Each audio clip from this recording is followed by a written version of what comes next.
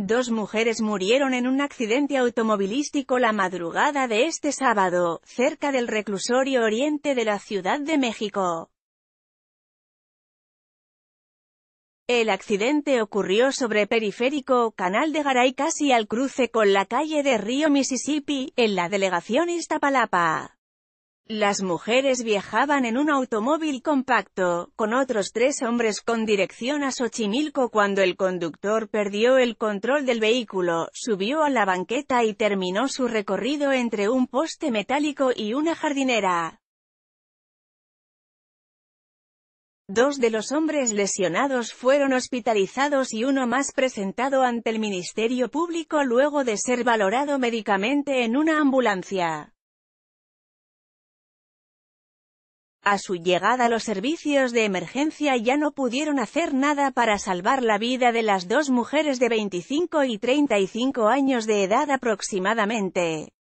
Vuelca camión que transportaba LCH a la 1 y 30 de la mañana sobre la avenida Cuitla Guaquimar Mediterráneo Un camión que transportaba leche volcó luego de chocar con un automóvil particular. De acuerdo a los primeros testimonios el automóvil particular antes de este accidente chocó metros atrás a otros dos autos.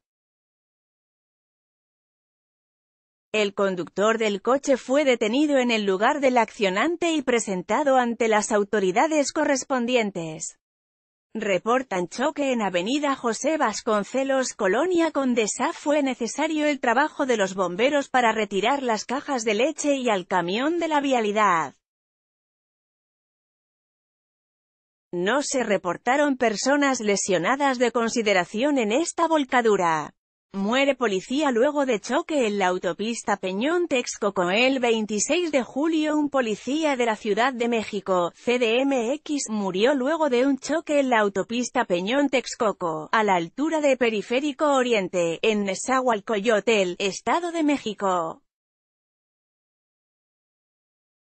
Testigos relataron que el vehículo donde viajaba el policía se impactó contra un camión, se subió a la banqueta y terminó su recorrido en un área verde.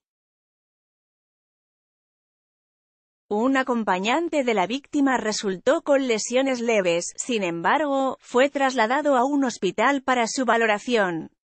Responsabilizan a conductor de camioneta por accidente en autopista México-Pachuca. El camión de carga involucrado en el accidente se dio a la fuga.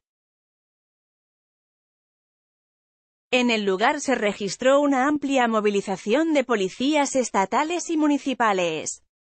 Al lugar también arribó personal de la Fiscalía del Estado de México para iniciar con las investigaciones y retirar el cuerpo, con información de Guillermo Seguravi.